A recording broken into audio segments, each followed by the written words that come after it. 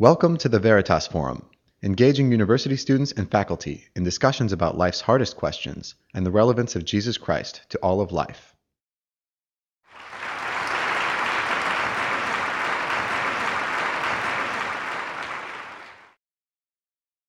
Thanks, Hannah, and uh, thanks to Veritas, and thanks to all of y'all uh, for coming.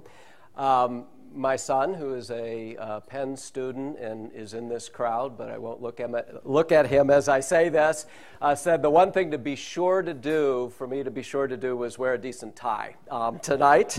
Um, so I'm living proof that children don't always listen to their parent, or parents don't always listen to their, par- uh, their children, just as children don't always listen to their uh, parents.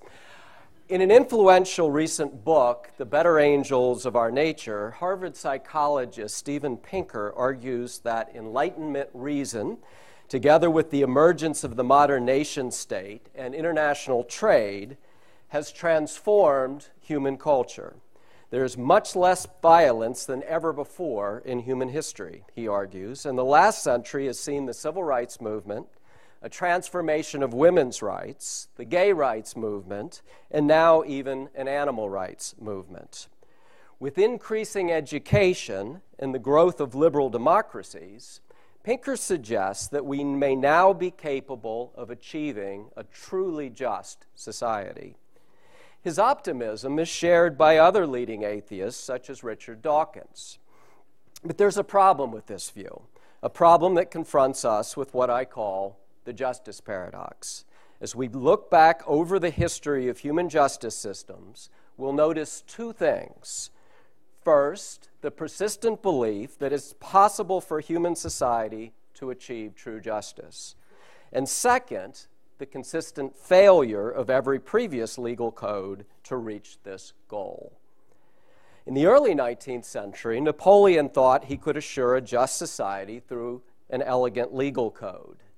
In the late 19th century, Marx and his followers insisted that a revolutionary shift to working class control would resolve the conflict between capital and labor and would produce a fully just social order. Both were unsuccessful, communism catastrophically so. Perhaps high culture and education are the solution and will produce more just societies, as Pinker suggests. But we have only to look back at Nazi Germany, one of the most educated and cultured societies in history, to find a painfully recent example of quite the opposite correlation. Perhaps liberal democracies are the natural direction in which the world is trending. But one thing we've learned from the Arab Spring and what's going on in the Middle East right now is that when a, a dictatorship is toppled, a liberal democracy is not necessarily the natural outcome. So, what about America? Our founding, fathers were remarkably realistic about the limitations of legal codes, and many would point to America's legal system as one of the world's most just. But Americans, too, have tended to be overly optimistic about law, and significant injustice remains any country in which 33% of all young black men who do not have a college education can be expected to spend time in prison, and 60% of black men who do not finish high school cannot claim to be anywhere near the achievement of true justice. We unfortunately have had some very vivid recent reminders of this just in the last several months. So, what hope do we have? You may be surprised to hear that I, a law professor right here in your midst at Penn, and I think Hannah may have overstated my toughness just a little bit, but I'll keep that in mind as I go back to class. Uh, think the Christian worldview better explains our longing for justice and makes better sense of the justice paradox than any other system of thought. You may think of Christianity as an ancient and obsolete worldview. An atheist friend of mine, who also happens to be in the audience tonight, and I won't look at him either um, at the moment, describes Christianity as, quote, and this is a friend of mine, or at least he was a friend before tonight, um, not much more than a human creation of Bronze Age peasants derived from wholly unexceptional and largely fictional narratives. Otherwise, he thinks Christianity is pretty persuasive. Um, so, how could it possibly be relevant to our 21st century challenges? Christianity's explanation of the justice paradox is one part of the answer. I believe that Christianity actually makes more sense, not less, of the justice paradox and other puzzling features of our experience than any other religion or system of thought. Christianity teaches that optimism about our own ability to usher in utopia by our own lawmaking is a central and destructive feature of human nature. Jesus of Nazareth was, of Nazareth was tried twice under both Jewish and Roman law, two of the finest legal systems the world had ever known.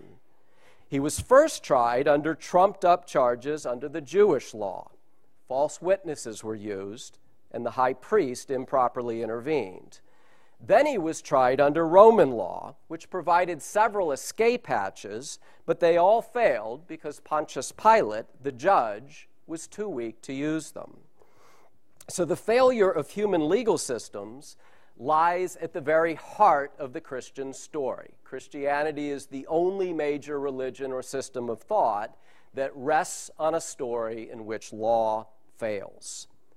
As a Christian, I believe that we're incapable of achieving a truly just society on our own because we've rebelled against the ultimate lawgiver.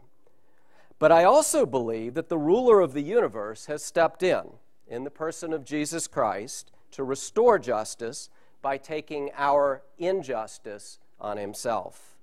So the Christian worldview rests on a skepticism about our ability to establish justice on the basis of our own moral improvement. But at the same time, it offers us a foundation for justice that, to my mind, is unsurpassed. The Christian understanding of justice starts with the biblical principle that each of us, whatever our race, gender, status, or physical and mental firmities or infirmities, is made in the image of God, and that our most fundamental need is for restored relationship with God and with, in, with each other. How does this relate to social justice? To start with, it gives us a grounding for human rights and for the principle that laws should be transparent, defined in advance, and applied to everyone in the same way. The Universal Declaration of Human Rights, which was first adopted in 1948, represents a wonderful achievement, asserting the value of every human being in response to the horrors of the Second World War. But it famously does not rest on any generally agreed upon philosophical foundation or articulation of why every human being is innately valuable. Of course, Christians are not the only ones who believe in human rights. But a Christian explanation of human rights is, I believe, a firmer foundation than that offered by top atheist intellectuals such as P- Steven Pinker or Princeton ethicist Peter Singer. Materialists point to some of the trappings of consciousness, such as our ability to make choices about the kind of life we live, as the basis for human dignity. But locating the value of a human being in any specific attribute risks the possibility of grading human value according to those attributes until those who are more intelligent or better able to make choices are more valuable are more valuable than those who are not. And materialism is in principle compatible with a host of different philosophies, many of which would not show equal value to each human life. Christianity can provide a grounding for the valuing of every human being, regardless of incidental attributes, by locating that value in the fact that human beings are created in the image of God. Let me be clear. I don't claim that Christians have always honored these principles when we have been in a position to shape the legal system whether it was in the Roman Empire under Constantine and after Constantine, or the more recent culture wars debates in the United States, we Christians bring our own sins to the table, even as we seek to create just laws. But the virtue of Christianity as contrasted with nearly any other system of thought, is that it's self correcting. Napoleon and Marx thought that thought and taught that with the right legal and political framework, human beings could create a just legal order. By contrast, when Christians seek to usher in the kingdom of God through law, they're forgetting how Jesus died and the way he constantly distanced himself from the powerful and aligned himself with the weak and marginalized. They're denying Christianity's teachings, not promoting them. So, what might a Christian vision of justice look like? The civil rights movement was the obvious and most dramatic 20th century illustration. Um, the important thing about the movement, for my purposes, and one of the most remarkable things about the movement, was that it focused a lot more on changing hearts than on changing laws. And the two laws, the two main laws that the civil rights movement did inspire, were very unusual laws. Unlike many, most moral and social reforms, the Civil Rights Act of 1964 and the Voting Rights Act of 1965 were not criminal laws. They were not designed to put offenders in jail or even to impose damages for the wrongs committed against blacks in this country in the past.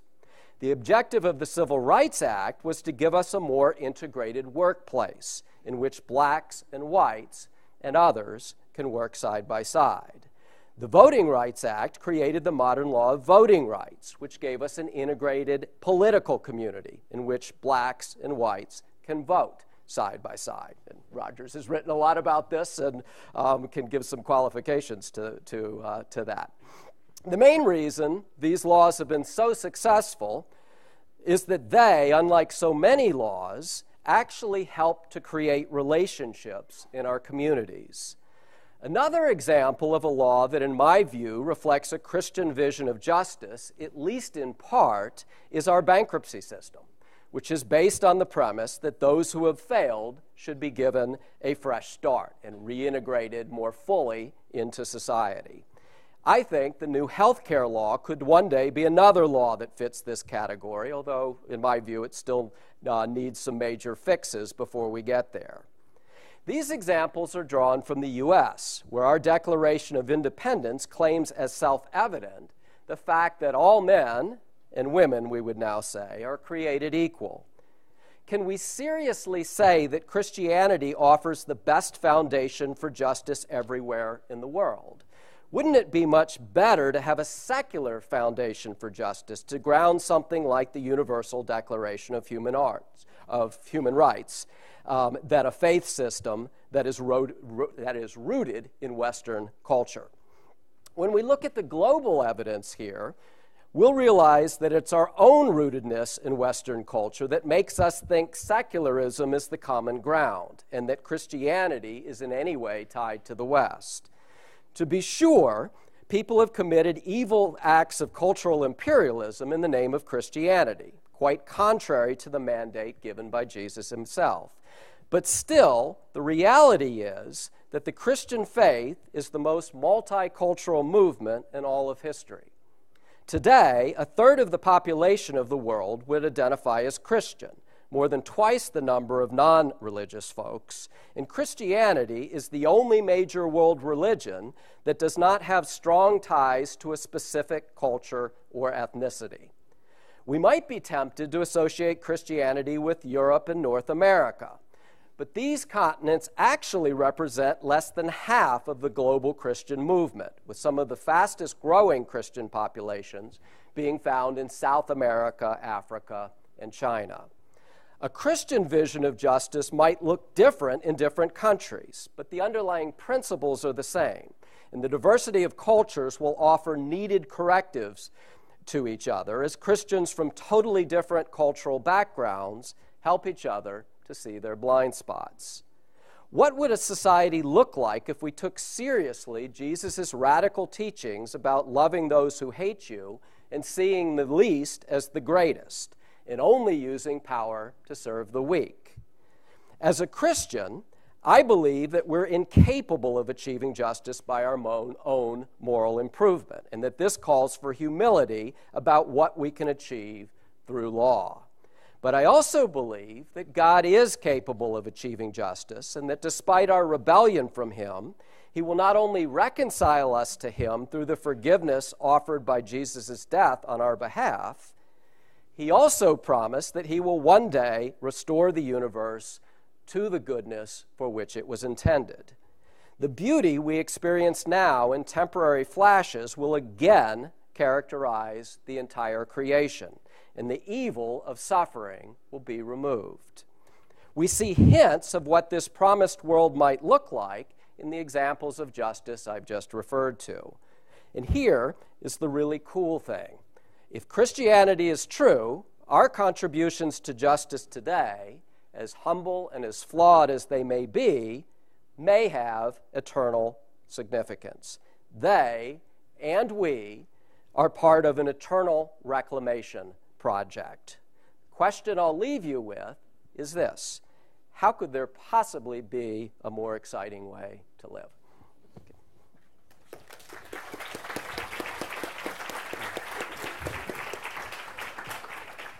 Thank you very much, Professor Skeel. Next up, we have Professor Smith.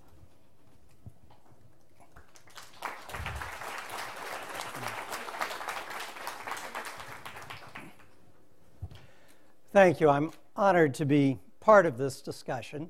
I'm here to represent secular viewpoints on justice, but I should begin by uh, letting you know that I was raised a devout Presbyterian that's a Calvinist denomination, but my kind of Presbyterians, like most, uh, long ago set aside the Calvinist doctrines of predestination and the elect and embraced a more uh, social gospel, social justice vision of Christianity uh, that, uh, when I was a teenager, uh, was uh, very much expressed in the civil rights movement.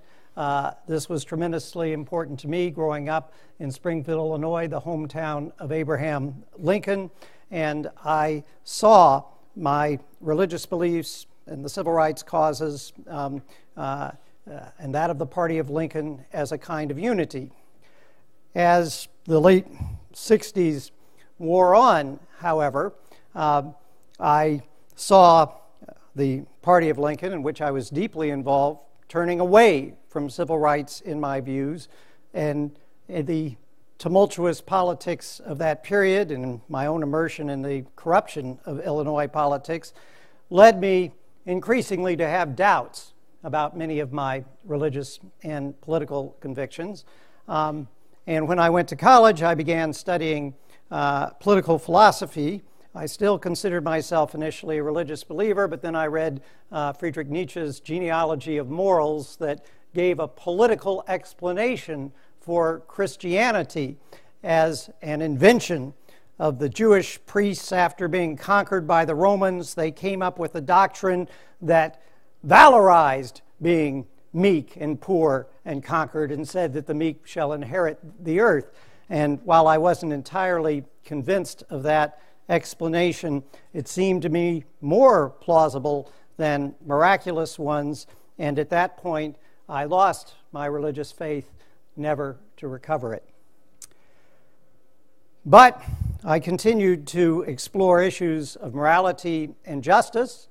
Uh, I read Plato's Republic, subtitled On the Just, and uh, Plato uh, seemed to me then to present justice as something that was instrumental to achievement of what was truly good.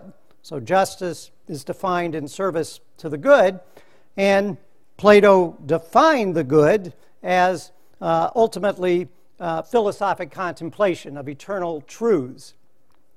I liked the argument that you define justice in terms of its contributions to achieving what's good, um, uh, but I uh, soon came to doubt the notion that the good should be defined at the highest good as philosophic contemplation. Then, when I went to graduate school, I took a course from John Rawls, who had recently published uh, uh his great book, A Theory of Justice. and he had a very different perspective on the relationship of justice to the good. He said that, uh, look, we can never agree on doctrines of what is ultimately good, uh, and therefore we have to think of justice, the right, as something that is prior to the good and sets the conditions for people uh, to pursue uh, different notions of what's good. I liked the argument that we probably couldn't settle on a single view of the good, uh, but I didn't like the argument that justice was simply prior to the good. I continued to think that notions of justice, uh, uh, to make sense, had to be tied to some notion of the goods that they could achieve. And this left me with the question of if I have that understanding of justice, what are the goods that justice should be understood to achieve? And I came reflecting on experience to find two things that I felt willing to affirm as good. The first is existence itself, an amazing and mysterious thing that uh, existence does exist. Um, there are philosophers who argue uh, that that's a matter of logical necessity, that nothingness is inconceivable, that there has to be something. That may be true. But I like to think there's a normative dimension to it, uh, that it is deep in the nature of things, that something is better than nothing. And therefore, existence uh, is worthwhile uh, or has value. The other notion that I found inescapable is that uh, the amazing and mysterious fact of human consciousness that gives us our attendant personal experiences, which may be illusory, but we feel that we can understand our world and ourselves to some extent, that we can communicate with each other to some extent, that we have some capacities uh, for choice and agency. Uh, without this human consciousness, uh, the whole question of purpose, meaning, justice, goodness uh, doesn't arise. And it seems to me, uh, therefore, uh, that um, there is something of inestimable worth in human consciousness. And these led me to shape my thinking that it is fundamentally good to preserve and enhance what exists insofar as we can good to preserve and enhance human consciousness, human understanding, human communications, human agency as much as we can. And I tend to think of justice as instrumental to these great ends. And this is an understanding which is not that far from Abraham Lincoln's view that the ultimate purpose of government should be to realize the rights of the Declaration of Independence, the rights to life, liberty, and pursuit of happiness. For Lincoln said, all people of all colors, everywhere in the world. And for that to happen, there must be a world. We have to preserve our uh, existence. We have to uh, enhance opportunities uh, for people to uh, decide on um, and pursue uh, their understandings of the world um, uh, their uh, agency. Now, if you understand justice as conducive to these goods, it raises the question is justice thus understood possible? And my answer is not completely. We can't obtain perfect justice for all in this world, understood as equal rights to pursue happiness. Um, existence itself Nature is preserved in part through destruction as well as creation, and people's notions of what will preserve and enhance their understanding, their communities, their agencies, their lives, liberties, and pursuits of happiness. These notions conflict, and we cannot satisfy all of them uh, ever. There are times that we need to choose sides as to which visions, which pursuits of happiness should prevail. And so I choose on the side of whatever path seems to me most likely to contribute to the preservation of what exists and especially to the uh, realization of many diverse forms of human pursuits of happiness, uh, as many as we can achieve, rather than paths that seem to involve unnecessary destruction of our world and unnecessary destruction of our different ways of life. And so I think of the core duty of justice somewhat like Rawls, although I base it on notions of the good and not justice as being prior to the good, but somewhat like Rawls, I think of the task of justice as the task of finding ways to accommodate diverse pursuits of happiness to the fullest extent possible. We can't do it completely. Let me uh, again reemphasize, and even if I don't have residual Calvinist views, Calvinist views of human nature in which uh, uh, we're uh, uh, simply not morally capable of uh, pursuing justice. I'd insist again that because um, conceptions of happiness uh, conflict. Uh, we can't accommodate all pursuits of happiness simultaneously, but we can do better rather than worse in accommodating multiple uh, pursuits uh, in ways that permit um, others to engage in different pursuits. Uh, and I think we should do this. I think it is good to pursue justice thus understood. This means that I regard it as both just and good for people to pursue their diverse religious faiths, if they have them, even though I personally no longer am religious in any traditional Christian sense.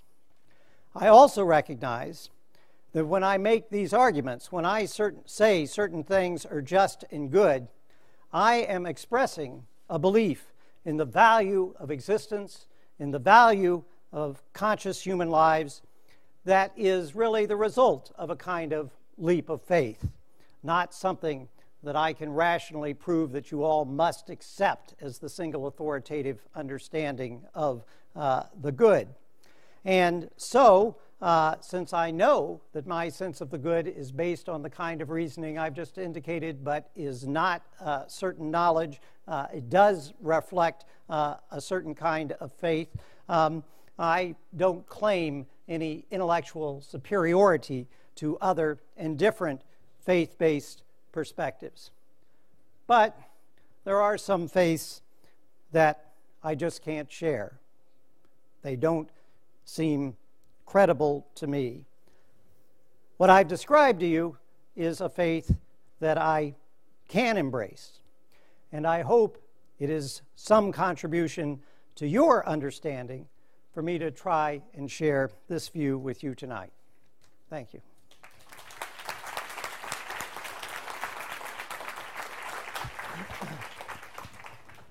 Thank you very much, Professor Smith. Now, uh, what I want you all to do is start thinking about questions that you might ask when we get to the audience question and answer response time, which is going to be in about 25 minutes or so. Between now and then, I'm going to ask a series of questions and we'll get some responses. Let's, uh, let's start with one that uh, maybe will uh, shake things up a little bit. We have a, an interdisciplinary team of speakers here tonight, one coming from a background of law, one coming from a background of politics, both talking about justice.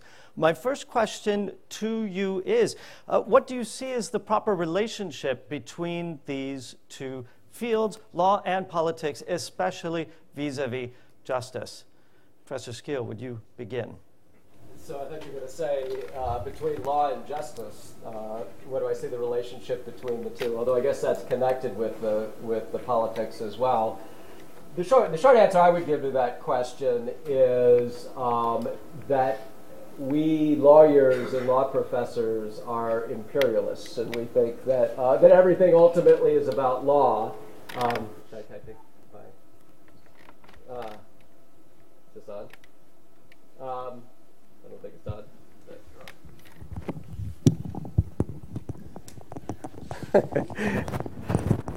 we're not easily silenced uh, uh, either. Um, we tend to think that everything is about law ultimately, and that law swallows politics and swallows justice. And I think that tends to be backwards. I think, um, and this is not just true of lawyers, but I think of, of Americans in general that we, we tend to lo- love law too much, and in some ways love politics too little. And my view of law is that less is often more. And to put it in, in Christian terms, we have a tendency to, as, to assume that what law is about is policing the misbehavior of ordinary Americans. It's about the sin and the misbehavior of ordinary Americans. And we have a tendency to forget that lawmakers and law enforcers also have a tendency to misbehave. And if you, leg- if you, if you legislate too much, you are inviting law enforcers and, um, and lawmakers to themselves misbehave. And the classic example of this in, in uh, American history is, is prohibition. And so, in my view, um, one answer that I'd give to that question is uh, it seems to me that law needs to play a, a double game. We, um, we need laws to police misbehavior, but uh, we need to be careful about not passing so much law that we can't systematically enforce the, the laws that we have. So, the first answer would be a modesty about how much we do with law, and the rest of it would be um, um, leaving more room for politics and for the political process, which seems a little like a strange answer right now, given the way people feel about politics right now. But I, I think we're much better off when we rely more on politics and less on law. So maybe I'm in the wrong department. Um, well, I um, uh, agree with most of those arguments, um, uh, and you're certainly welcome uh, uh in political science. Uh, let me, um, we'll talk later, David. Um, the, uh, I would put it more strongly. I think it's just obvious that all laws are created by political actors and political institutions. Laws are products of politics. Uh, the notion that law uh, somehow could exist uh, apart uh, from politics, I mean the laws used to govern uh, uh, societies, um, uh, that is, I think, um, you can't look at how any law was ever enacted without recognizing that a legislature or a court, which is a politically created and um, uh, appointed institution, uh, they are formulating law. Politics generates law. Uh, the reason the question even arises of the relationship, I think, is uh, twofold. Uh, the first is that we have found through human experience uh, that those societies which have a significant measure of the rule of law, that is, understood as a predictive, predictable body of rules that bind even powerful political actors, those societies tend to do better in the long run. So it is a lesson of political experience that we should craft legal institutions, which are political governing institutions that have sufficient power uh, to restrain those uh, political actors who are uh, misbehaving in the way that uh, David alludes to. And that leads us to think of law as set in opposition uh, to politics. That's one reason. And the other reason is that we hope that the content of law will have uh, some intrinsic value that reflects higher law truths, however we understand them, in divine terms or as uh, uh, natural laws or as um, universal principles of uh, morality. Uh, we hope that the politically crafted laws uh, will uh, express these um, uh, higher moral truths. And uh, if there are such moral truths, I certainly hope that the law does express them. But it does not change the fact that those laws exist only when political actors and political institutions uh, create them. And so, in that sense, law is a product of politics. Thank you very much. Let's see, for our next question, we've heard a little bit in both of your statements uh, views of people about uh, humans, humanity. Uh, for example, uh, we heard uh, you cite Steven Pinker saying that humans are getting better and better in certain senses. Uh, Rogers, we heard from you that we exist and that that's a good thing. I'm for it. what, what are your personal views about humanity. Are we getting better? Are we getting worse? What else can be said with some degree of certainty about humans and the human condition? And I'm going to let you guys fight, Fight over who gets to go first because I'm not going to adjudicate that. Well, I will say that uh, I think uh, Steven Pinker uh, did collect and um, uh, usefully uh, advance a lot of evidence uh, that uh, does show uh, that many forms of human brutality and destructiveness have been reduced um, over the course of the last 2,000 years in particular, uh, in ways that I see as political achievements, but political achievements informed by um, uh, moral perspectives uh, in which religious perspectives uh, have played uh, powerful and often, although not always, beneficial roles.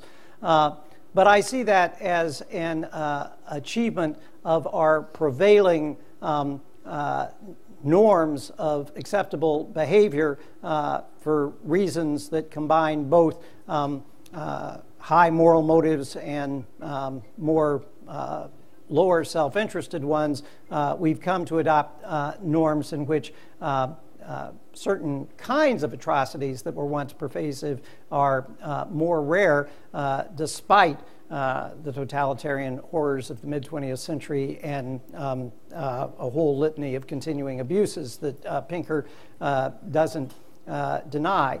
Uh, but I'd insist that this question is a different question than whether uh, humanity or human nature, if there is such a thing, uh, has really changed uh, or not.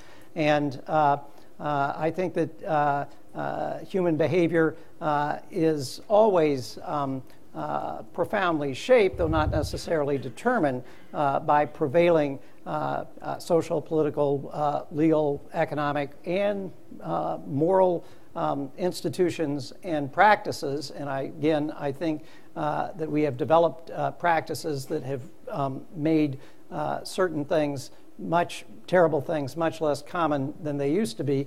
I'm not sure that intrinsic human nature has changed at all.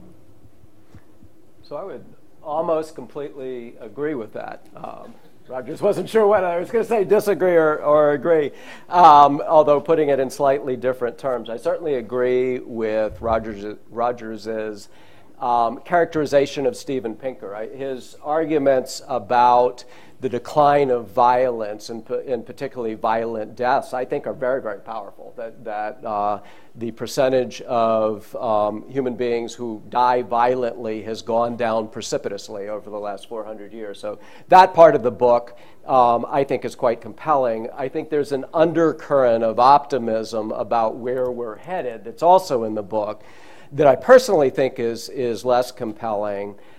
I think a lot about the famous state- statement that Martin Luther King made that the arc of history is long, but it bends towards justice, and, and whether that's accurate or not. And I think in some ways it is. So I, I guess I think that we, we have made progress in terms of justice, but I don't, I, I, I don't believe a, a narrative of progress, so the myth that we're getting better and better. And I agree completely with Rogers that um, human nature has not changed. From a Christian perspective, I understand human nature to be two different dimensions of all of us. One is we have an enormous capacity for good. The other is that we're fallen, we've all sinned, and we have an enormous capacity for evil as well. And one of the things that's really striking to me about some of the psychological advances, evolutionary soci- uh, psychology and psychology generally in the last few years, is a lot of the discoveries, although the people who, who have made them would never associate them with Christianity or religion in any way, seem to me to confirm the Christian understanding of who we are. I mean, the, the, our current thinking about the way we work is that we have a capacity for good, but we also have a capacity for evil, and that has not changed. I do agree with Rogers about that. Next question. I'm a mathematician. In my line of work, I'm not used to people saying, well, I think about it for a while, but then eventually I just have to uh, have faith and believe. This is a little bit unusual to me, yet I hear uh, both of you saying essentially that in your opening statements that there is at some point uh, an almost Kierkegaardian leap that you have to take to come to your position, that it cannot necessarily be uh, compiled like a computer program beginning to end. So, uh, somewhat uh, unusual question maybe how do we adjudicate conflicting beliefs? If in the end you have to believe something, then within the context of justice, if we have conflicting beliefs leading to different outcomes, what do we do? So I'll uh, start. Well, the first thing I'll say is I, would really like to have your computer program uh, that gives us the answer to these uh, to these questions. Um, so it, um, it seems to me that there's a different, for me at least, there's a different answer to that question depending on whether you're talking about me as a person or us as a society. So, me as a person trying to adjudicate between conflicting beliefs, what I do, and I think what we all do, is gather as much evidence as I can about whatever it is Christianity or a non Christian view of the world, you know, whatever the perspective we're looking at and, uh, and make a conclusion based on the best information we have. Ultimately, our understanding of who we are and how the universe works is got to be based on, on incomplete information. And there, there's a tendency uh, sometimes for people from a scientific perspective to say, well, I'm using a scientific approach. It's not like the Christian approach, which is just a, a belief of faith. I believe we're all using the same approach. We're, we're looking at as much evidence as, as we can find, and then we're making the best conclusion that we can based on, on, um, on that evidence. And, and I happen to have concluded that Christianity is a compelling explanation of, uh, of the world.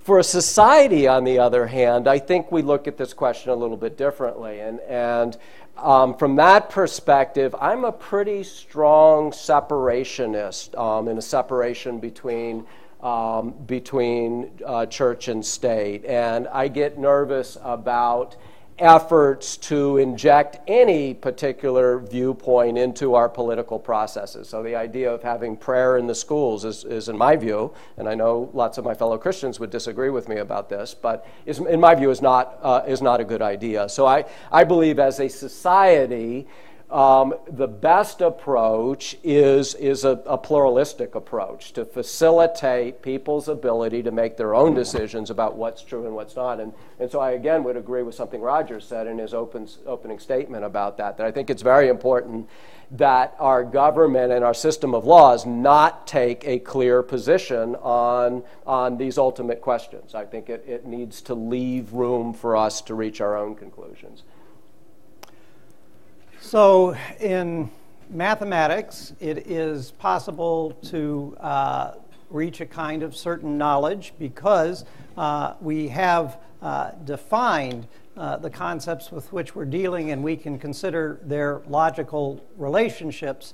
Um, and uh, uh, that we can, you know, if we posit this as a premise, we can be sure uh, that these logical uh, uh, qualities um, can be um, developed from this um, initial definition. Um, I'm deliberately putting it somewhat um, uh, more abstractly than I need to because the point I want to make is uh, that uh, for Plato and in my useful Platonic phase, I was attracted to the notion uh, that knowledge of what is real in the world uh, could be similarly grasped. Uh, Plato had uh, the notion that um, uh, the underlying nature of reality was in some way uh, mathematical, and if you could grasp um, the fundamental ideas constituting reality, you could reach certain knowledge about um, the real natural universe. Um, and uh, I came uh, to reject this kind of uh, uh, epistemology, not that mathematics can't lead us to um, uh, certain. Um, uh, certain knowledge of conditional truths, you know, um, if 2 plus 2 means this, it's 4. Um, uh, not only, it's true that mathematics can achieve that, but when we are trying to understand um, uh, the actual empirical world uh, that we live in, um, I think we can only have uh, the kind of knowledge uh, that William James, uh, that um, W.V. Quine, following William James, argued for in his famous argument about the web of belief. and that is that we have a number of um, characterizations of the empirical world uh, that seem reasonable to us. They don't always fit together into a coherent account of the larger whole, and we are constantly engaged in the process of testing whether some uh, uh, claims are more reasonable, more consistent with uh, uh observed phenomena uh, than others, readjusting our web of belief, trying to make it as coherent uh, as possible um, without ever expecting uh, to reach a fully coherent account of the whole um, uh, empirical uh, universe. Uh, and Quine argued, um, and Rawls built on this, that moral reasoning was similarly structured a kind of pragmatist epistemology in which uh, we have a variety of uh, moral beliefs. We look at experience to see which seem uh, to work out better in terms of um, uh, producing the kinds of uh, results and experiences uh, that they claim to. and when they appear to be falsified by experience, we um, abandon them for others. Um, uh, in these ways, we judge uh, what normative perspectives, including what notions of good, seem to us more reasonable uh, based on uh, an experience that includes examining um, as many views of others and as many um, uh, facts of uh, the world and human experience as we can. we make reasoned judgments about which positions are more probable and which are not. Probabilistic judgments are all we can ever hope to reach, uh, not certainty. And that since they're only probabilistic judgments, there is an element of a leap of faith. But that doesn't mean that some judgments aren't more reasonable than others, because there is a much uh, uh, greater body of uh, evidence that coheres in the web of belief that we are formulating. Thank you. Okay, let's bring things down a notch. You're an academic. You're an academic. I'm an academic. We could talk epistemology all night long, but uh, many of the people in our audience would like to know uh, what do we do when it comes to justice? What do we do? What do students in the audience do to enact justice? What are your thoughts? Well, in this regard, I. Um, have come to adopt a position that I initially resisted by my doctoral supervisor, uh, Judith Shklar, uh, great political theorist who was a survivor of both Stalinist tyranny and the Nazi Holocaust. Um, and uh, uh, uh, was never comfortable with my insistence that we think about justice in terms of uh, achieving various goods. She was very wary of people claiming that they knew the good and trying to impose it on other people. She had seen lots of that. Her argument was look, we don't know what's really good or what's truly just, but we do have a sense of what is unjust. She wanted us to focus on injustices in the world, and there were some things that she thought were just undeniable injustices, and they were mostly cruelty toward other human beings. And if you look at the world around us, there is so much cruelty and brutality and hardship still, despite whatever progress Steven Pinker talks, Pinker talks about, that um, uh, uh, that's more than enough to be getting started with. You know, so I think uh, uh my practical advice is look at the injustices around you that you think you have some chance to address and work on those. Um, uh, don't worry too much about um, the paralyzing questions of uh, uh, ultimate purpose uh, or ultimate goodness and justice if you can, if that means that you're ignoring uh, the undeniable evils that surround us every day. And so that's my practical advice.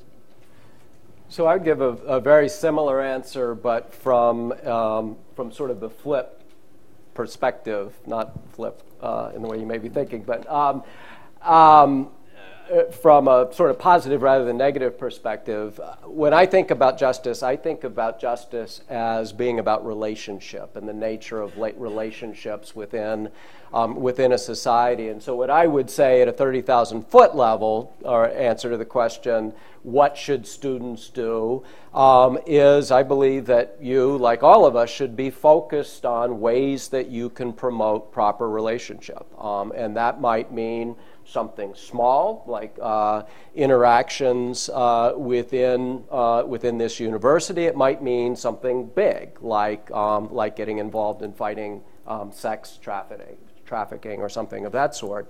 Um, but I think both of those are important, and I think both of them have a similar vision of justice. And just to give an example of, um, of the first, of promoting um, promoting proper relationship. Well, a friend of mine once said uh, 10 or 15 years ago that a good um, a good indication of whether you are doing that, whether you are living the way you ought to be living, and he was speaking from the perspective of a professor, um, but I think this translates is do you know the name of the person who takes out the trash in your office? Um, and if you don't know the name of that person, maybe you should be rethinking exactly how you're living your life. So, so I would say that justice is about, well, uh, just to tell on myself a little bit, I gave this, what I thought was a wonderful talk about uh, five or six years ago um, to a Christian audience, and I, that was kind of the punchline of the talk. And you can guess what the first question I got was. Uh, the first question was, Do you know the name of the person who takes out the trash in your office? And the honest answer was, I did not. Um, if you answer the, ask me that question tonight, I'll be ready for you. Um, all right, final question before we turn things over to the audience. Uh, we've heard from Professor Smith about how beliefs change. Sometimes you think things through, you change your mind. What would it take for either of you to change your mind about what you believe? It's a great question. Um, uh, I will start with that. And the, the, short answer is if somebody proved to me that Jesus did not rise from the dead, um, I would immediately change my, my beliefs. And um, nothing else that I can imagine would change them. Lots of, uh, lots of archaeological evidence might complicate things one way or another, but if, unless someone were to demonstrate to me, to, to my satisfaction, that Jesus did not rise from the dead, um, uh, I, I, will continue to be a Christian because I think the evidence that he did is quite compelling. And if he did, and if he's how we're reconciled to God, a lot of things follow from that. And if someone were to prove to me that Jesus did rise from the dead, why did I know that's where you were going? I would change my belief. Excellent answer. So Let's see. So we've made progress. We're down to two options now Christianity or uh, agnosticism. Excellent. At the end of all day, someone's going to change their beliefs. Let's uh, give a round of applause.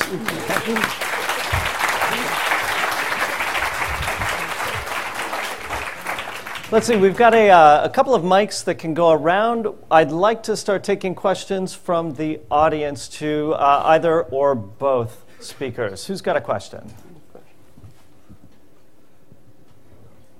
All right, gentleman in the back. Hello. Um, most people in the room will end their time here at the University of Pennsylvania with uh, incredible debt.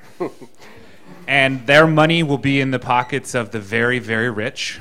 Um, maybe someday they'll join the, that, those ranks. Most of them won't because the um, concentration of wealth, as we all know, is uh, increasing. And I'm, I'm, wondering what your, how your systems of justice um, might uh, encourage us, and, and, and what might be some distinctions in how you're, appro- you're approaching the, I, what I think is one of the biggest justice issues in our time is, the, is income inequality and the concentration of wealth with the very few. We're, we, we, we're working on a definite, definite plutocracy.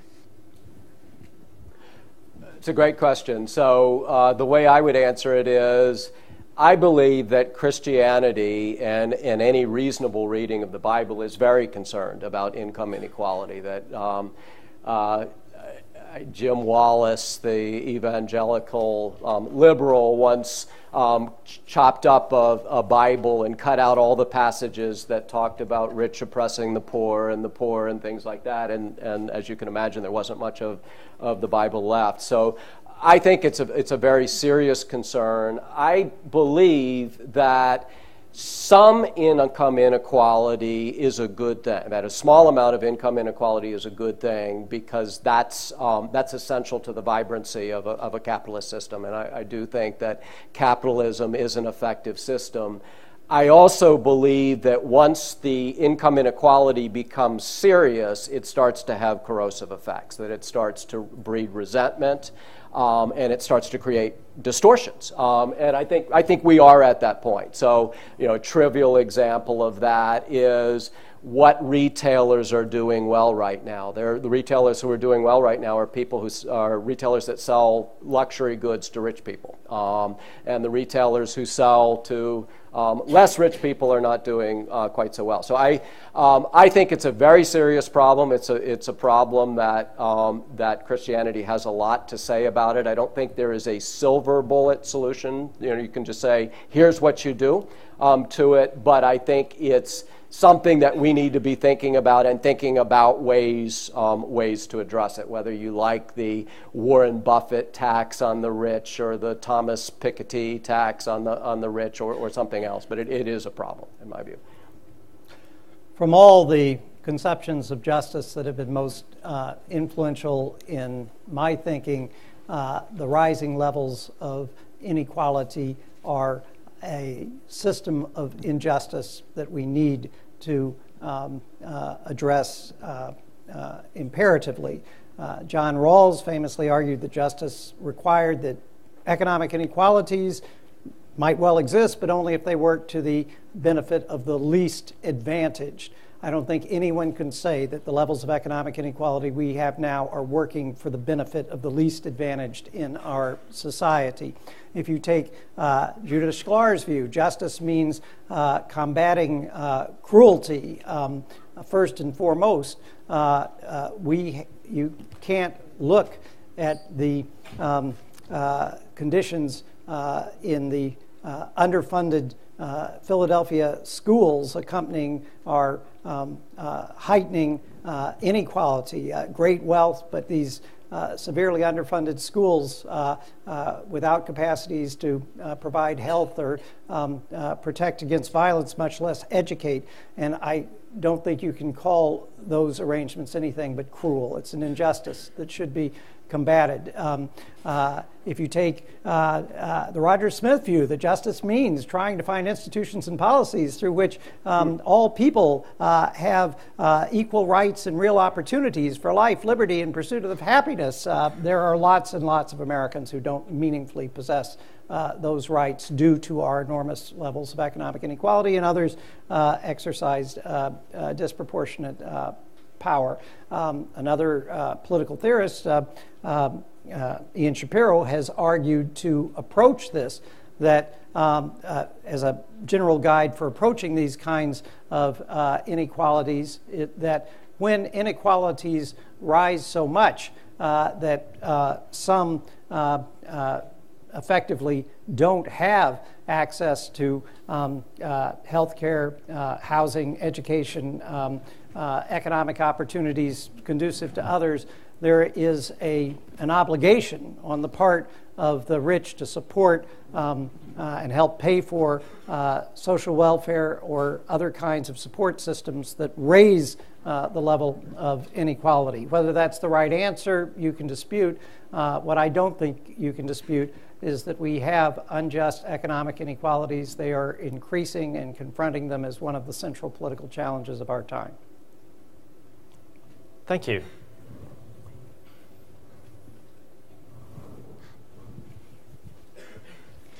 Hi, thank you so much for the talk. It was fascinating. Um, I, have a pro- I have a question for Professor Skeel. So, um, is what is good good because it is commanded by God, or does God command it because it is good? And if it is the latter, does that mean morality exists outside of God? And if so, um, why can't humans decide or even achieve justice and moral good without a divine lawgiver? Thank you. So I'm, I'm going to, uh, I lost the very end of that, uh, the connection of the end of, of your question. Um, so you might come back after I give an answer, which won't be a, a satisfying answer. I'm tempted to say, um, I didn't mention that my son is a philosophy major. Um, I, I, should let him answer that question, um, or Rogers could answer it. Um, it's a theology ans- question. You have to answer it. Oh, I am going to answer. I mean, I'm going to. The answer that I'm most comfortable with is that it's a false question. That that God is goodness, and um, and that to, to try to to suggest that there's a pri- prioritization of one over the other is creating a false uh, false dichotomy. So. Um, so that's my answer to your core question. I think there was an end um, there, an end part of it as well. But one thing I will say is, which I'm not sure is exactly what you were getting at, but um, that it, if you accept that, um, that God is goodness, and you're persuaded by a Christian um, explanation of that goodness. Now, there are other, once you accept that God is goodness, there are other, there are other religions on offer. But if you're persuaded by Christianity, you do have a foundation for your moral views. And um, one thing that folks who, who are not religious believers don't uh, do not have is an objective foundation for their moral um, their moral view. So um, if you go if you get that far, you do have a basis for believing what you believe, and believe and that includes. Um, understandings about what justice entails and about who we are and what the significance of who we are is. Let's see, we've got a hand up in the back there. Hi. Again, thank you so much for, for taking your time to, uh, to speak with us today. Uh, I was just wondering, um, I think both of, you know, both of you acknowledge that we are, we are all broken people living in a broken world with, with all of our, uh, you know, call it sins or imperfections, whatever it may be. I was just wondering, uh, do you believe that, you know, given our human limitations, is there is a, a fully just society uh, just based on our own strength? Is that possible? You know, is that is that even an ideal that that's possible to work towards? So, thank you. So I can start with a short answer to that, um, which is no. um, but a slightly longer answer is um, not only do I believe that we're incapable of producing a fully just society, um, I believe that the optimism that, that we tend to have about our capacity to produce justice can have very pernicious consequences. And the, the best example of this is, uh, and one of the things that, that makes me very worried about the Steven Pinker kind of view that we're really moving towards justice is that's the way people felt in this country 100, 110 years ago. Um, at the turn of the, the 20th century, there was a very strong sense that America was the promised land and that we were capable of achieving um, true justice. Well, what came of that, um, of that optimism? Well, it was destroyed by World War I, obviously. But one of the products of that optimism was eugenics, um, was a belief that if we are moving towards a more perfect society, we can move even faster if we help it along by killing people who are weak um, or, um, or mentally deficient in some way. And so, in my view, not only are we incapable of producing true justice, and we need to be um, realistic about that, but the tendency towards optimism has some really pernicious, and can have some really pernicious consequences. Again, I have no uh, sharp disagreement. I don't think uh, perfect justice is um, uh, attainable uh, uh, with our um, uh, finite human capacities.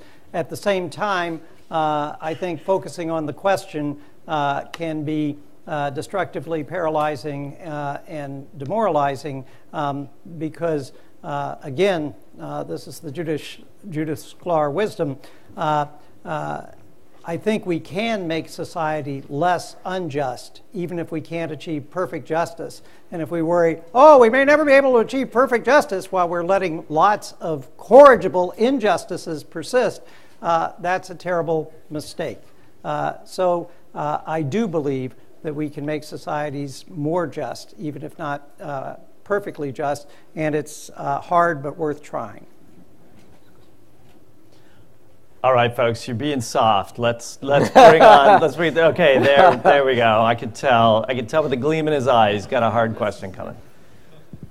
Uh, so this one's for Professor Smith. Um, so listening to you, I can tell there's a concern or a healthy respect for existence, and that existence is a good thing, and then also a concern at the same time for diversity and allowing people to pursue different routes. Um, so what's your take on what we do when those two principles come into conflict? Um, a specific example might be end of life, assisted suicide type issues, but if you want to talk about another one as well. But it seems like sometimes, you know, a respect for existence and a respect for diversity can clash. Absolutely right. Um, uh, the, uh, that's why I indicated in my comments that it isn't always possible uh, simply to embrace and support all the diverse pursuits of happiness that uh, exist. There are times uh, that uh, you have to uh, choose sides and say that these kinds of pursuits are so destructive of things that we take as bedrock values that we can't um, support them defining what those are uh, highly contentious, and I don't claim to have um, uh, certain answers, uh, but it is an existential reality that we have to make choices and judgments. And uh, while I don't think I have certain knowledge, I also don't think anyone else does. So I feel I'm entitled to act on my judgments as anyone else is uh, when um, choices must be made.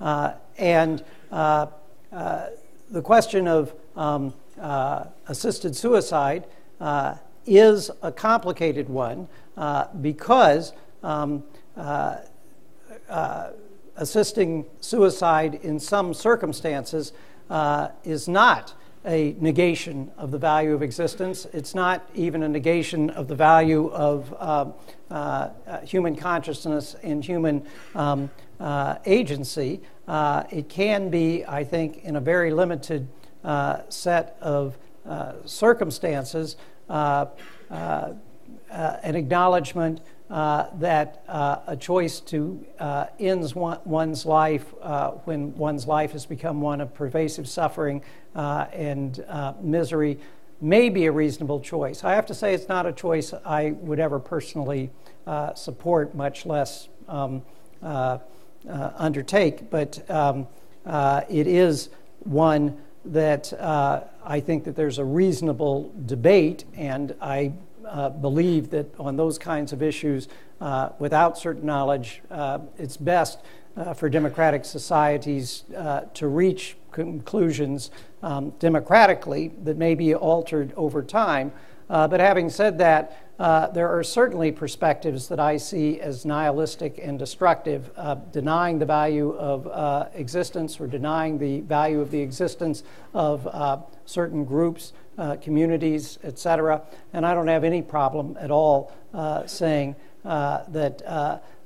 those may be their pursuits of happiness, but they are too destructive of the things that I have indicated as good for me to tolerate them. Uh, uh, forcible resistance, if necessary, is justified.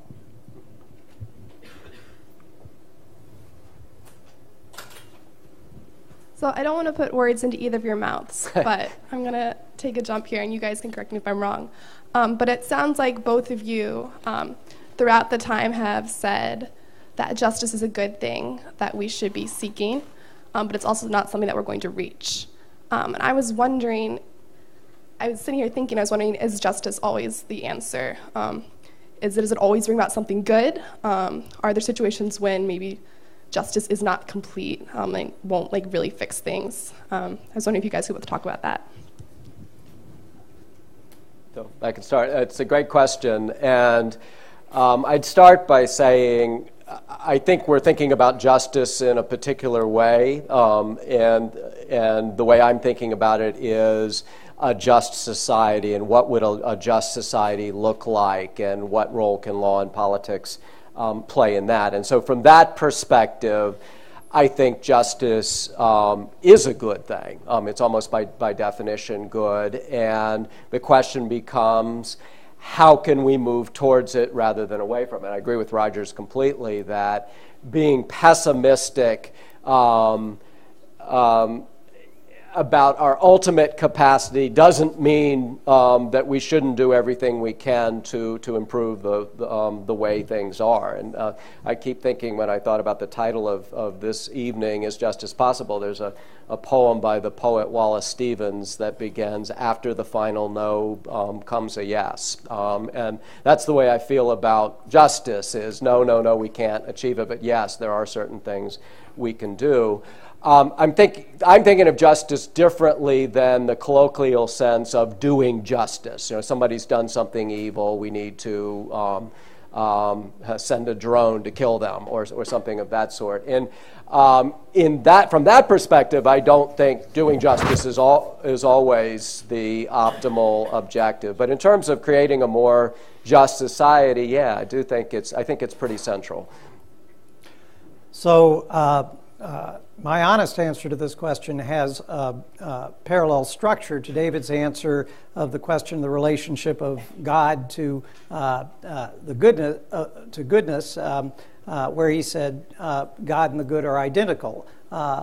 I define justice in terms of its contributions to achieving what is good. For me, justice is instrumental uh, to the good. And so, um, uh, the kind of circumstances in which what is just is opposed to what is good, uh, that would lead me to rethink what is just if I saw those circumstances. Having said that, there is a conventional understanding of justice uh, as the rule of law and conformity, uh, applying the same law uh, to um, all pertinent parties in the same way um, uh, all the time. Uh, that's strict justice.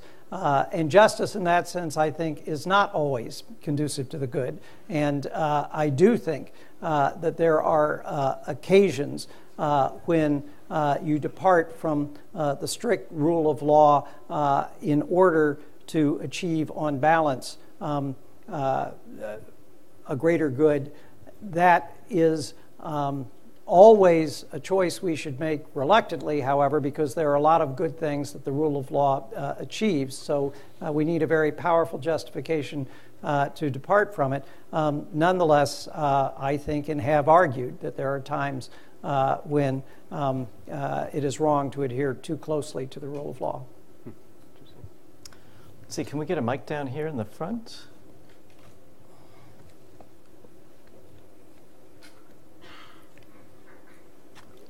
Tell you what, and then we'll get you uh, next. Okay? Great. Thank you. Thank you very much for your talk. Um, I had a question. You mentioned a lot about goodness and defining what is just. How do you define what is good based on your worldview and your religion um, or your religious preferences?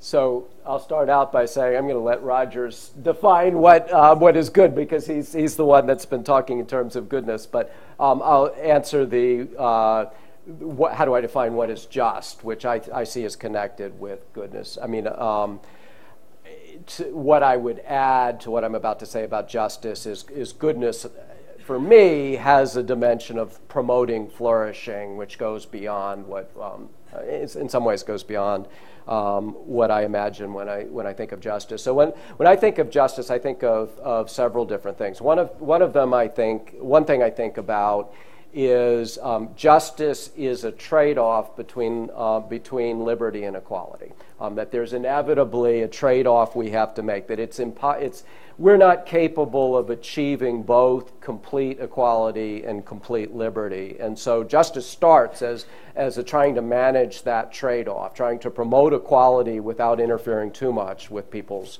um, people's liberty. I also believe that justice has a dimension of the rule of law, that justice means having laws that we know about in advance that are applied the same way to a poor person than to a rich person.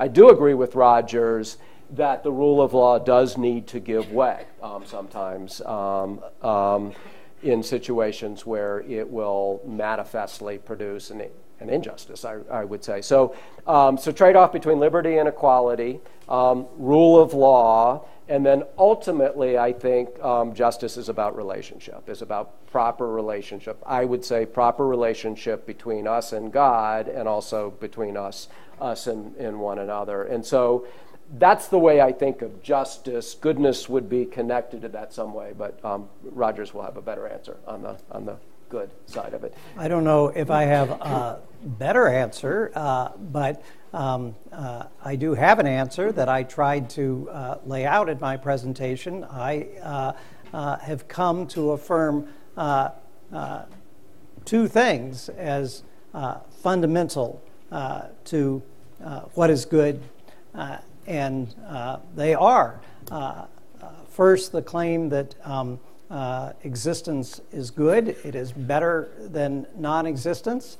Um, this may seem uh, uh, trite or unhelpful, and yet is a fact of human experience that many people at times wrestle with the question of whether existence is worthwhile at all, as we well know uh, here, and I am, um, I do think uh, uh, existence is good, and I also um, uh, argued uh, that. Um, human, the human consciousness and the enhancement of human consciousness, human understanding, human communications, human agency these are good things, and for me, they are um, elements of human flourishing.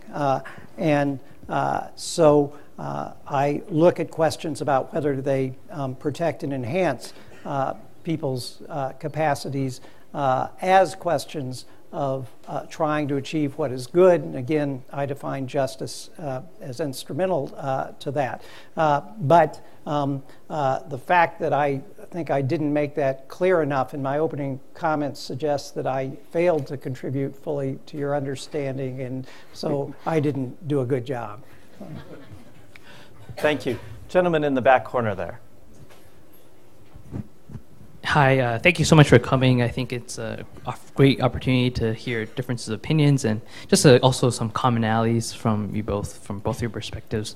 I think my question has to uh, relate to just in terms of something uh, something that the university had to decide on last semester regarding uh, to the use of tobacco, um, how the university funds tobacco, and we oftentimes see that for the University of Pennsylvania, the trustees felt that something would have to be a moral evil for it to be not funded or supported by this university.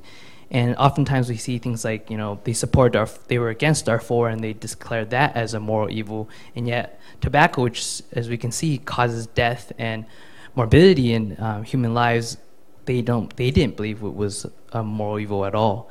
So how do we come to a compromise in terms of, you know, it seems very subjective in terms of what's moral evil, and yet justice is often used to defeat or fight moral evil in all sorts of avenues and, and situations. So I kind of want to get your perspective, um, both from a agnostic and also a Christian's perspective, on how you see that and how that relates in terms of how justice can be involved with uh, moral evil in our society. Because oftentimes it becomes very controversial, including other topics such as like abortion or anything that relates to life issues. Thank you. Uh, if you look at the list of the names of the faculty members that signed a petition uh, calling for the university to disinvest in tobacco companies, you will find my name. Uh, I was very disappointed in the decision of uh, the university. Um, uh, I read their explanation. I don't find it very uh, convincing. Um, uh, in addition uh, to many other forms of foolish and evil behavior, I was a heavy cigarette smoker up until the age of uh, uh 25. Um, uh, uh, it is the most um, addictive form of um, intoxicant, stimulant, whatever you want to call it, that I have been exposed to, um, and it is unquestionably uh, destructive of um, uh, human lives and uh, the environment. So, you know, I have these concerns. The environment, human life, terrible for both. And, and after all, how do you consume tobacco? you set fire to it. You know, it's just it's it's destructive all the way down. Um, so you know, uh, uh, I see what they you know uh, they tried to say, well, it's technically legal, and you know. Um, uh, people choose to do it. We don't. We, we do think it's evil, but we don't think it rises to the level of moral evil as other things that we have disinvested from. We, we, uh, yeah. Well, it's a long way from being good, um, and uh, uh, uh, I don't think there is, these are complicated questions, yes, um, in the abstract. I don't think this is a complicated question. there's no reason to invest in tobacco companies. So I'm not sure if I completely agree with Rogers um, or uh, with some of this, uh, although I think I agree on how we get there. Um, I think for within a particular um, perspective, what is, what is and isn't moral evil may be clear. You know, as a Christian, I, I have some clear views on, on what I think is moral evil and what is not. Within, insti- within an institution like Penn, it's more complicated because we have so many different views on things. And so I, I do think the standard for declaring something moral, uh, moral evil needs to be really high. I think it needs to be uh, some things that we might individually call moral evils um, I think as an institution, we need to be. It's How about causes cancer? I mean, yeah, I'm not. Yeah, um, that's although you know I pro- I might agree with you in the end. Although you know cigarette smoking is legal in this country, and and you know I think a, a natural rough cut line is between what's legal and what's not legal, and. Um, truth be told, I, am a little suspicious of divestment campaigns. Um, they often don't work. Um, um, um, because you're creating investment opportunities for, for folks who will buy these kinds of stocks. So I, my standard for what's something, something that is moral evil that the, the university should have nothing to do with is, is a pretty high standard. I, um, I think tobacco is pretty close to it. Um, uh, a few conversations with Rogers might persuade me. Um, but I, um, what I see of divestment campaigns makes me um, want to use some caution um, about them. All right, we've got time for one more really incisive question. Who's got a really good one? You got a really good one. All right, the gentleman in the blue T-shirt right there. So this is for uh, Professor Smith, Ashley. Um, my question centers on you talked about our kind of existential experience being, um, you know, one of agency. But you also talked earlier about that being illusory. And, Possibly. Hmm? So my Possibly. question was going to be, um, how do you reconcile, let's say, a naturalistic outlook? I don't know if that is what you espouse with the fact that um, with kind of justice, when let's say in a naturalistic outlook, the inevitably inevitability of circumstance seems to conflict with the idea that injustice that warrants punishment and therefore should suggest some agency on the behalf of the punished. Well, this is the great fundamental challenge of modern webs of belief. We seem to have lots and lots of evidence uh, that supports uh, uh, a naturalistic account of things that uh, fits with uh, uh, physical determinism, or if there is some uncertainty in uh, physical processes. It's not uncertainty uh, that represents anything uh, that um, gives us agency or that we have control. That's what a lot of our empirical uh, science seems to tell us about ourselves. Simultaneously, uh, we have the uh, overwhelming um, experiential evidence that we feel ourselves as uh, beings with uh, moral agency, um, uh, with meaningful uh, choice, um, and we have not succeeded in reconciling these understandings in any uh, philosophic or scientific account of ourselves that um, I've encountered.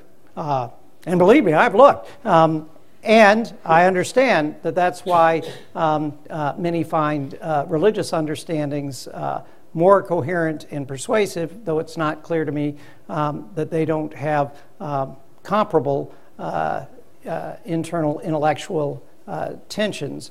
but um, here, I embrace the pragmatist solution to this dilemma, which is that um, whether or not we can reconcile naturalistic accounts with our experience of human agency, we're not going to get away from the fact that we do experience ourselves as having human agency and a capacity uh, for choice and to make choices for good or ill. Uh, in fact, we can't escape that experience. Uh, and so uh, uh, uh, we're going to be a lot um, happier, I think, if we embrace it and uh, try uh, to exercise uh, the capacities uh, for choice that we experience ourselves uh, as having in ways that seem to us more defensible rather than uh, less defensible. and so that experience prevails in um, answering the question of whether we should regard ourselves as having moral agency or not in the end for me. Somewhat away towards away from agnosticism for that for that to be true requires some sort of form of spirituality. Uh, it does not require uh, any particular uh, spiritual belief. It only requires me to say that there are um, uh, mysteries about human existence to which there are many alternative answers, none of which seem uh, to me completely convincing, and that leaves me agnostic. Agnostic means you don't know. And in regard to this, I don't know. So. All right, thank you very much for your questions. We're going to end with one final question to our speakers. To both of you, you have assembled before you a diverse audience consisting of people in the Penn community, people from the greater Philadelphia area. What would you say to them? What charge would you leave them with in the context of what we've been discussing this evening? So I would go back to, to my answer of um, how would I encourage people to promote justice? And I, and I would say again that I believe that justice is about proper relationship, um, proper, proper relationship with one another, and that we should each of us be thinking about the ways in which our relationships look like that and the ways in which they don't, and, and trying to promote the one and to reduce the other. And uh, for me, uh, the message remains that we should uh, pursue a politics uh, that, as uh, Lincoln argued, uh, seeks to create um, a world in which uh, the rights of the Declaration of Independence, the rights of life, liberty, and pursuit of happiness, are meaningfully possessed and enjoyed by all people of all colors everywhere in the world. And one thing that Americans don't understand is that that was a radical vision in Lincoln's time, and it is a radical vision today. We are very far from achieving it. Um, but in its quest, uh, I think we can find um, happiness as well as a sense of justice and goodness. Excellent. Thank you so much, Professor Smith, Professor Skeel.